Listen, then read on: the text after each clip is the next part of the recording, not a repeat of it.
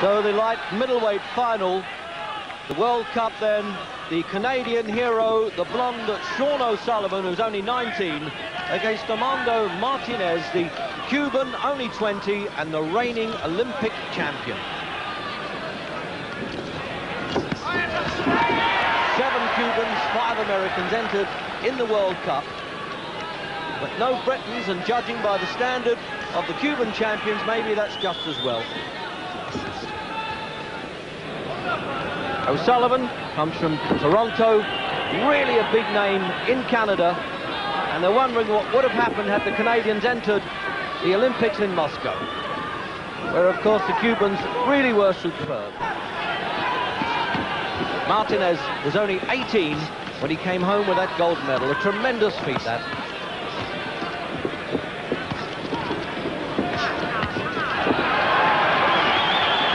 And a tough opening round remember the bruises, the earlier competition that these fellows have had to go through, eliminating Bulgarians, Venezuelans, Koreans. And what a start this is. Well, they said that O'Sullivan was the gutsiest fighter in Canada, and they weren't kidding.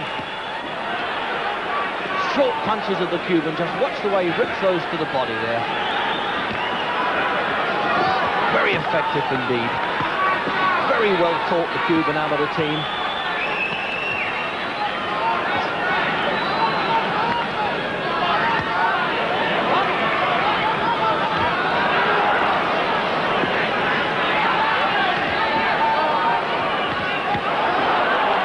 His punches, the Olympic champion. Leads with the right hand there and still gets away with it.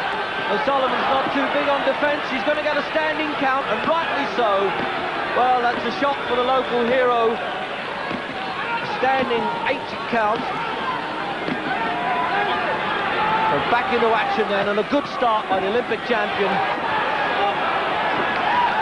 And second respite. He doesn't agree with that, O'Sullivan, neither does the crowd but they're not taking the punches. It's all very well them booing there, but this boy Martinez, he hurts.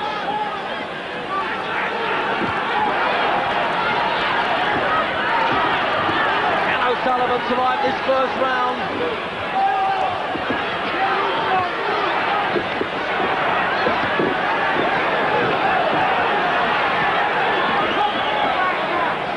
Well, he could have fooled me there, hitting with the inside of the glove, but they were good enough to stop this fellow in his tracks, and he's really as game as they come, O'Sullivan. Oh, a cut over the left eye there. I'm surprised he didn't take O'Sullivan to the corner, at least for the doctor to have a look at that. It looks bad enough, but he's saved for the bell then at the end of the first round.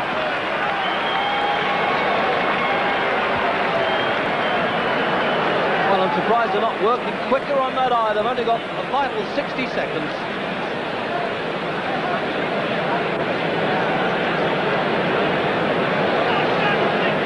You get a replay then of Martinez just missing with that right-hand lead, which is unorthodox, but he's always ready to bring in a counter blow. There, watch those hooks to the body, really professionally delivered, aren't they? But all the time, O'Sullivan nagging away, clubbing around the head. A really professional exchange, that.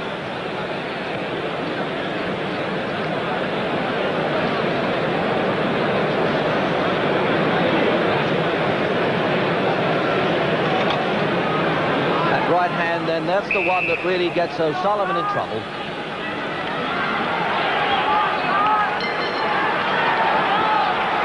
So round two, Shawn O'Sullivan, a couple of compulsory standing counts in the opening round. And the Cuban Martinez then must have won that by, what, 2017, 2018, maximum.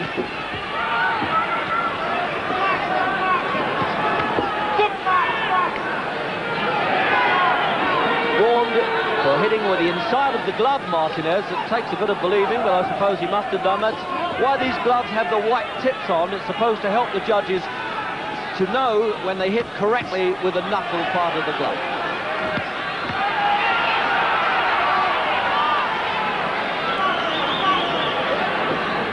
Well, there was enough action in that opening round to last a long time, but they're back in at the second, and certainly O'Sullivan has marvellous powers of recovery. Well, he won't get a better fight between teenagers than this one now. Although Martinez, in fact, has just got out of the teenage limit by a few months.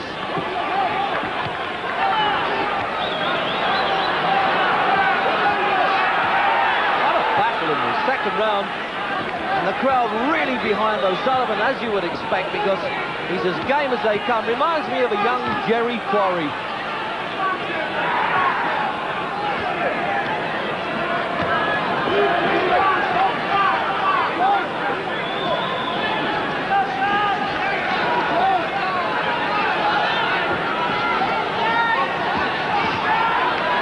Well, if ever you've seen a Canadian professional in the making, surely this one. Or will he hang around, hopefully, for the Olympic Games in Los Angeles?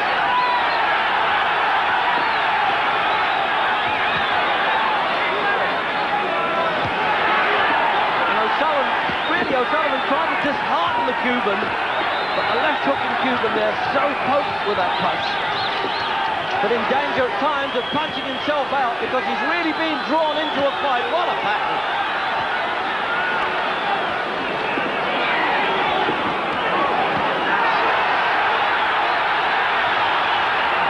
remember a better recovery than this with O'Sullivan. Really took the stick in the opening round and in the second, fighting his heart out and having really quite a bit of success.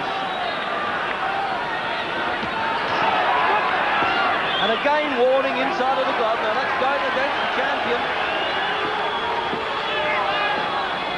Silver medalist in the last World Cup, Martinez. And this was the ring where they fought the 76 Olympics in Montreal at the Maurice Richard Arena. Coming up to the end of the second. And really, Shawn O'Sullivan getting more than his medals back in a fantastic light middleweight final.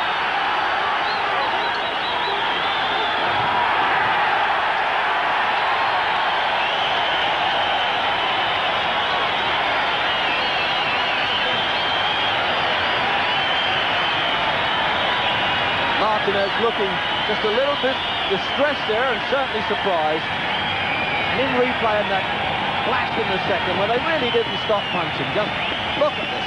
Toe to toe, punch for punch. And O'Sullivan trying to get inside the long arms of the Cuban. And again now, the right hand a bit wild by Martinez. And O'Sullivan managing to get his punches just that much shorter to make them count.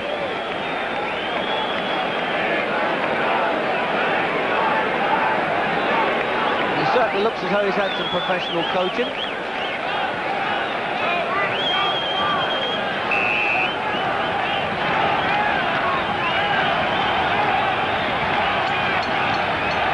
So it's the third and, of course, final round of the World Cup in Montreal. One of the greatest amateur battles I've ever seen. They can't really call this too much science.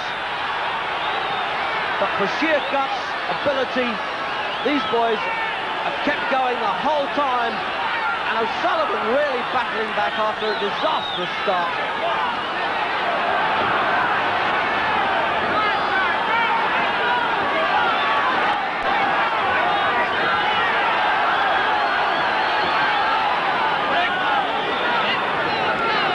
Martinez perhaps realising lost a medal or two in that second round. And Shawn O'Sullivan from Toronto just will not be denied. Can imagine some of the professional promoters around the world must be green with envy watching these boys doing it for a few cups and saucers, as it were.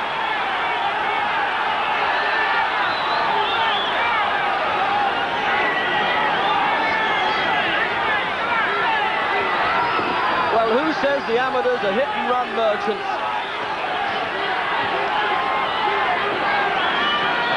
They're in terrific shape, having fought all week to get to this final. They're feeling a few bruises with battle, and they still have not stopped. My heart goes out to both of them. And in particular O'Sullivan because he had every reason to even quit at the end of that first round. But that was the last thing in his mind.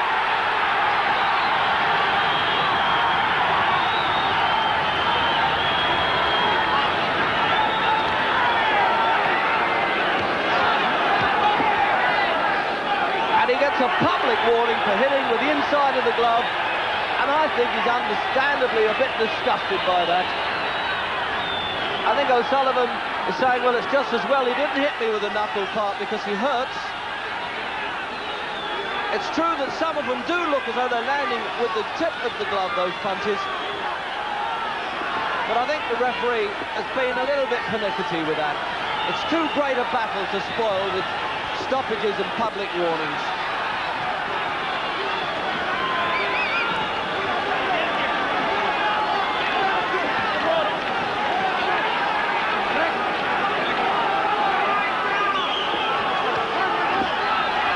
Well, you can see now how Martinez managed to win that gold medal at only 18, of Russia on the way.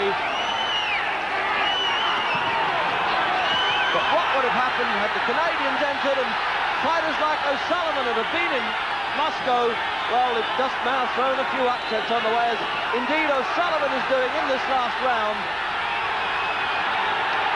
What a tremendous battle this is, and now the champion gets a standing count. Well, that is a surprise. O'Sullivan has not only come back, but he's dished out enough punishment to level things up and probably now put him ahead in the last seconds of the final round, and the bell comes to the rescue. A playful punch at the bell, and O'Sullivan senses that he's won it, and the crowd know he has. Well, in fact, it was a, 5-0 unanimous verdict for the young Canadian. What a remarkable comeback after those two standing counts in the first round, and what a hot prospect he is.